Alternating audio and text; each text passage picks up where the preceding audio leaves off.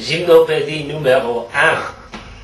That's that nut job Erik Satie who revolutionized modern music. And uh, I'm not going to play it for you. Uh, just the first two chords, basically, on the guitar, if you ever want to just go back and forth between two chords and kind of daydream and meditate. And uh, two chords are quite easy. Um,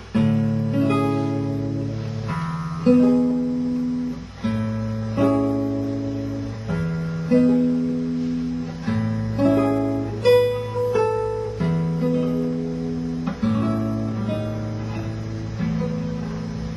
so what are the two chords? Let's see. The first chord is kind of kind of an A, an A major seventh. Um, use your thumb to play the A. You got that, Rich? Yep.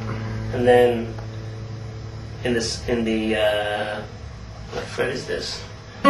Sixth fret, you're putting your ring finger on the G string. Okay. Fifth fret, putting your middle finger on the B string, and in the fourth fret, your index finger on the E string. And you're playing those three strings and the A as a bass note.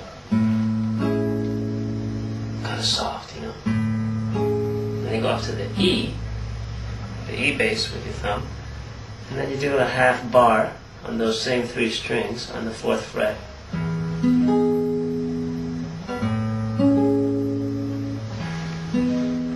Then you kind of play around melody.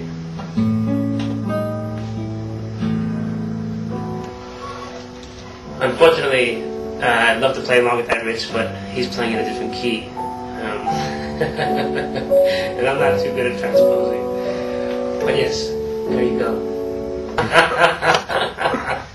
what a lot of bucks.